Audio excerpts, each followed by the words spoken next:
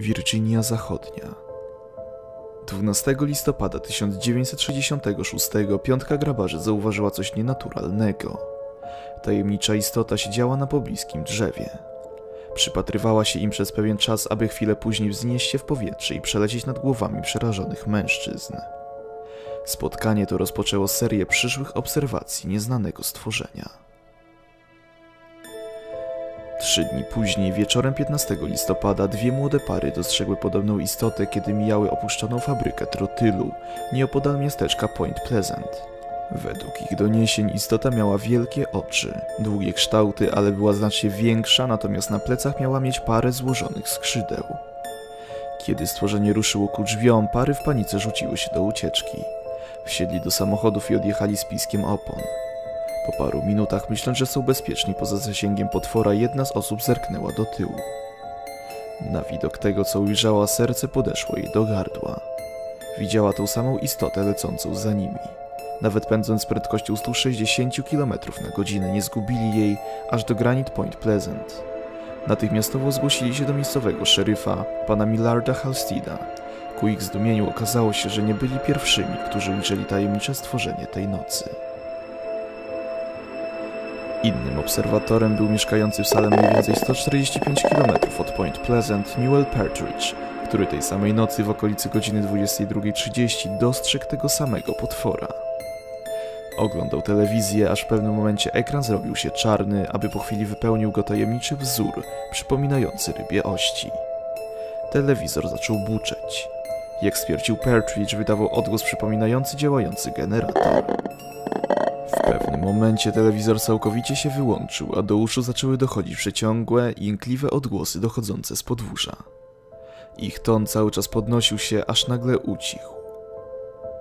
Pies Perdridge'a, trzyletni owczarek niemiecki imieniem Bandit, ujadał pod domem, więc mężczyzna zabrał strzelbę i latarkę i poszedł zobaczyć, co się dzieje. To właśnie wtedy go ujrzał. Skierował światło latarki w stronę stodoły z sianem, gdzie zauważył dwoje wielkich czerwonych ślepi przypominających świecące reflektory rowerowe. Gdy byłem dzieckiem, polowałem całe noce i wiem na pewno, jak wyglądają w ciemności oczy zwierząt takich jak szop, pies czy kot w ciemności. Te były zbyt duże. Odległość do stodoły to długość boiska futbolowego. Prawdopodobnie około 150 yardów, a mimo to te oczy wydawały się ogromne jak na tę odległość, relacjonował Partridge. W końcu pies zerwał się i rzucił na tajemniczą istotę. Mimo, że jego pan krzyczał i kazał mu wrócić, zwierzę się nie posłuchało. Chwilę później można było usłyszeć tylko pisk. Partridge już nigdy więcej nie zobaczył swojego psa. Rankiem następnego dnia policja przybyła do fabryki TNT, aby ją przeszukać. W pewnym momencie usłyszeli w swoim radiu dźwięk podobny do płyty obracanej w przyspieszonym tempie, jak i dostrzegli coś, co nazwali później cieniami krążącymi po zakładach. Jeszcze tego samego dnia szeryf zwołał konferencję prasową, na której czwórka świadków powtórzyła swoje relacje. Podnieceni dziennikarze tak łakomym kąskiem nadali imię tej tajemniczej istocie Mothman. Przez następnych kilka długich miesięcy niemal codziennie dochodziły słuchy o zauważeniu Mothmana. Na podstawie relacji ponad 100 świadków udało się stworzyć rysopis potwora. Jego wzrost wahał się pomiędzy 150 a 210 cm. Był szerszy od człowieka i poruszył się w podobny sposób do pingwina. Jego świecące czerwone oczy były osadzone blisko ramion. Skrzydła miał podobne do nietoperza, ale latając szybował zamiast nimi trzepotać. Mimo wszystko potrafił unosić się pionowo jak helikopter. Skórę miał mieć ciemną w barwie szarej bądź brązowej. Podczas lotu wydawał brzęczący odgłos. Nie potrafił mówić, aczkolwiek można było usłyszeć skrzeczące odgłosy przypominające zniekształcony krzyk kobiety. John Keel, amerykański pisarz i ufolog, jako pierwszy zgromadził wszystkie doniesienia i relacje o człowieku ćmie. Efektem jego pracy stała się książka Mothman Prophecies.